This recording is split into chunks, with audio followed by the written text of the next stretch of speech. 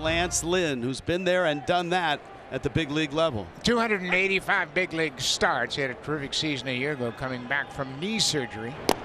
And a strike three call. Lance Lynn gets the first strikeout of the night. 2-2, that's strike three call. Two punch outs for Lance Lynn. And this ball game in Phoenix is underway. Swing and a miss. Canada's on the board. Young Denzel Clarke, the 22-year-old, getting in at bat here and as a starter tonight. A check swing, strikeout. Swing and a miss. Julien goes down. Lance Lynn looks like uh, midseason form. See? I mean, how perfect is this outing, right? And on the 65th pitch, five innings. Anderson walks, pitch count up.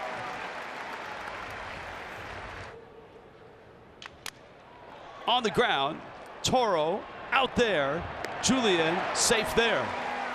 Anderson scores.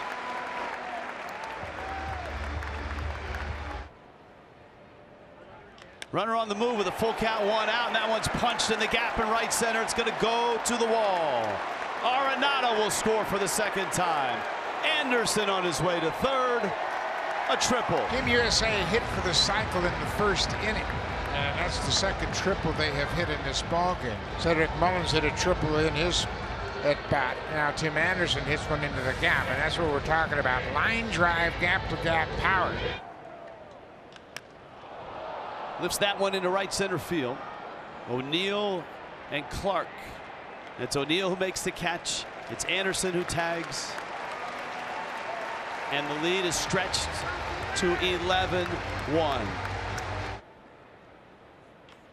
Anderson loops that one into right center field. And that's a hit.